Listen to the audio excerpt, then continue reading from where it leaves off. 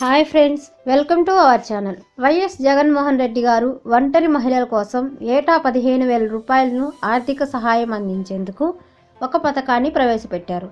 ఆ పథకం గురించి పూర్తి డీటెయిల్స్ తెలుసుకునే ముందు ఇంకా ఈ వీడియో లైక్ చేయకపోతే వెంటనే ఒక లైక్ చేయండి. మీరు చేసే ఒక లైక్ నాకు ఎంతో సపోర్ట్ అండ్ ఎంతో ఎంకరేజింగ్గా ఉంటుంది. అలాగే ఇంకా మన ఛానల్ని ఎవరైనా సబ్స్క్రైబ్ చేసుకున్నట్లయితే వెంటనే సబ్స్క్రైబ్ చేసుకొని పక్కనే వచ్చే బెల్ ఐకాన్పై క్లిక్ చేయండి. ఇలా చేస్తే నేను చేసే ఇలాంటి యూస్ఫుల్ వీడియోస్ని అప్లోడ్ చేయగానే ఫస్ట్ మీరే చూడొచ్చు.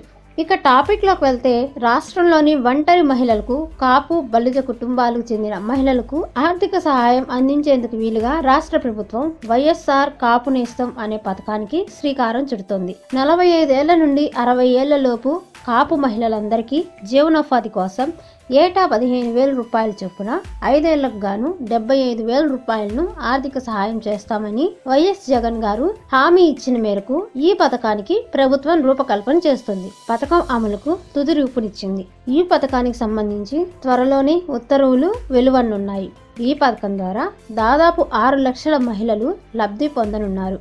ఫ్రెండ్స్ ఇప్పుడు వైఎస్ఆర్ కాపునేస్తానికి రూల్స్ గురించి ఇప్పుడు మనం తెలుసుకుందాం. మహిళ యొక్క వయోపరిమితి నలభై ఐదు నుండి అరవై ఏళ్ళ లోపు ఉండాలి. గ్రామీణ ప్రాంతంలో కుటుంబ ఆదాయం పదివేల లోపు అదే పట్టణాల్లో అయితే పన్నెండు వేల లోపు ఉండాలి. అలాగే ఎవరైతే మహిళలు ఈ పథకానికి అప్లై చేసుకుంటారో వారికి నాలుగు చక్రాల వాహనం ఉండకూడదు. టాక్సీలకు ఆటోలకు మినహాయింపునిచ్చారు. మూడు ఎకరాల మాగాని లేదా పది ఎకరాల మెట్ట భూమి లేదా రెండూ కలిపి పది ఎకరాల లోపు ఉన్నవారు ఈ పథకానికి అర్హులు. కుటుంబంలో ప్రభుత్వ ఉద్యోగి ఉండకూడదు. ప్రభుత్వ పెన్షన్ కూడా తీసుకుంటూ ఉండకూడదు. కుటుంబంలో వృద్ధాప్య వికలాంగులు పెన్షన్ తీసుకుంటూ ఉన్న ఈ కాపునేస్తం వర్తిస్తుంది. ఇన్కమ్ ట్యాక్స్ పే చేస్తున్న కుటుంబాలు ఈ పథకానికి అనర్హులు.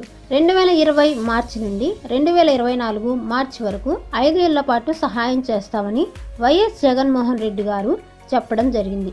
ఈ పథకానికి సంబంధించి వాలంటీర్లు అభ్యర్థుల సమాచారాన్ని సేకరిస్తారు. తర్వాత గ్రామ సచివాలయం వద్ద లబ్ధిదారుల ఎంపిక జరుగుతుంది. ప్రభుత్వ ఉత్తర్వులు వెలువడ్డాక పథకం అమలుకు చర్యలు తీసుకుంటామని చెప్పడం జరిగింది. మార్చిలో లబ్ధిదారుల ఖాతాలోకి ఆర్థిక సహాయం అందవచ్చు. ఓకే ఫ్రెండ్స్ ఈ వీడియో కనుక మీకు నచ్చితే లైక్ చేయండి. ఇటువంటి మరిన్ని యూస్ఫుల్ అండ్ ఇంట్రెస్టింగ్ వీడియోస్ కోసం మన ఛానల్ని సబ్స్క్రైబ్ చేసుకోవడం మాత్రం మర్చిపోకండి.